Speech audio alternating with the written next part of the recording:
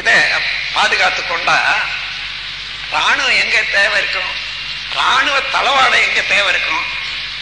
அடுத்த மாதத்துல இருந்தா அடுத்த வருஷத்துல இருந்தா ராணுவ தளவாட சாலைகள் எல்லாம் மூடத்தான வேணும். அப்படி மூடனா எங்க நாடு எப்படி வாழ முடியும்? நினைக்கிறான் அந்த அஞ்சு நாடுகள்.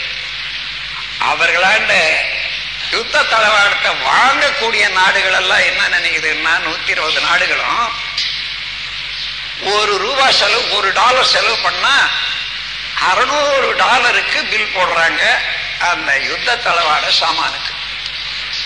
முன்னூறு டாலர் கிட்டத்தட்ட அந்த நாட்டுக்கு வரியா போயிடுது பிப்டி பர்சன்ட் இந்த எந்த நாடு வாங்குகிறதோ அந்த நாட்டு அது யாருக்கு கொடுக்குறாங்களோ அது தெரியாத கிக் பேக்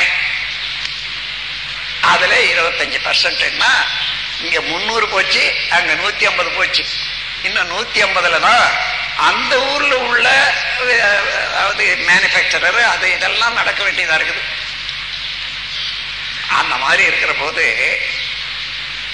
இந்த அஞ்சு வருஷம் நாலு வருஷம் இருக்கிறாங்களே அரசியல்வாதிகளும் ஒரு நாட்டில் வர்றாங்களே.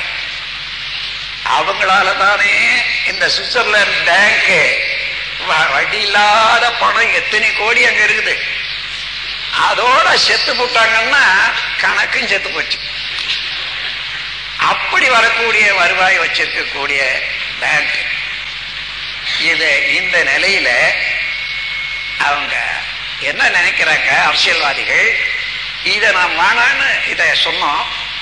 அப்போ இது ஒருவேளை ஒருவேளை நினைக்கிறாங்க ஒரு வேலை அப்படியே வந்துட்டுனா இந்த நான் இருக்கக்கூடியது நாலு வருஷம் அஞ்சு வருஷத்துக்குள்ளாக எனக்கு வர வேண்டியது கூட போடுமே.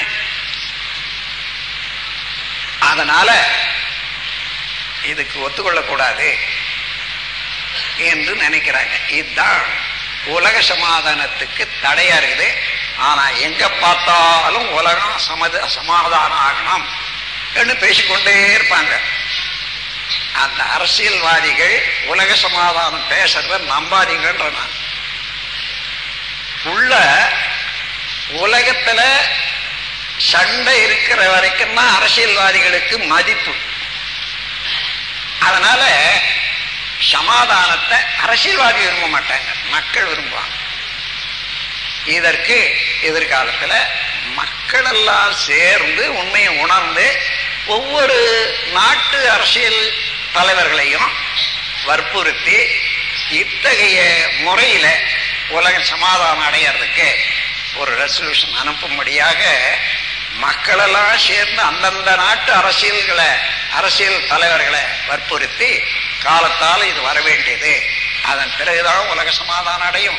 வேற எந்த வழியிலையும் அரசியல்வாதிகளோ மதவாதிகளோ அல்லது பொருள்துறைவாதிகளோ உலக சமாதானத்தை கொண்டு வர முடியாது. ஒரே ஒரு வழி உலக நாடுகளெல்லாம் சேர்ந்து பார்டர் பாதுகாப்பு எடுத்துக்கொண்டாலே ஒழிய வேற வழி இல்லை. அது வரைக்கும் மக்களுடைய உள்ளம் திருந்தி ஒருவர் ஒருவர் ஒரு பகுதி மக்களை ஒழிச்சிட்டு இன்னொரு பகுதி மக்கள் வாழலாம்னு சொன்னா போக போக யார் மிஞ்சுவாங்க? கொலைகாரம் தான் மிஞ்சுவான். மிச்ச பேரெல்லாம் அழிச்சிடுவாங்க அத்தகைய முறையில உலக சமாதானம் வரணும்னு சொன்னா மனித குலம் ஒருவரை ஒருவர் மதித்து வாழ வேண்டும் என்ற எண்ணம் எல்லாருக்கும் வரணும். பெரும்பாலான மக்களுக்கு வரணும்.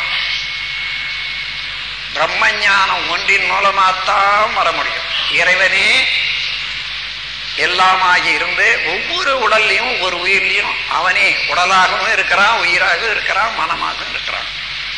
நான் எந்த தீங்கும் ஒருத்தருக்கு செய்யக்கூடாது செய்ய முடியாது. என்ற தெளிவு அந்த தெளிவே பண்பாடாக மலரக்கூடிய காலத்துல தான் உலக சமாதானம் வரணும்.